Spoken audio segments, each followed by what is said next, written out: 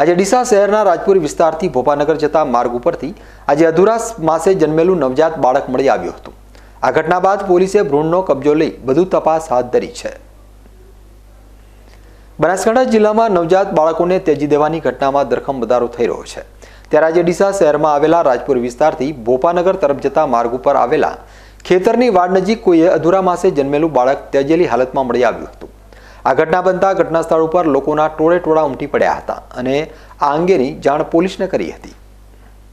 બાદમાં પોલીસે ઘટના સ્થળ ઉપર પહોંચી તપાસ કરતા નવજાત બાળક પુરુષ હોવાનું જાણવા મળ્યું છે.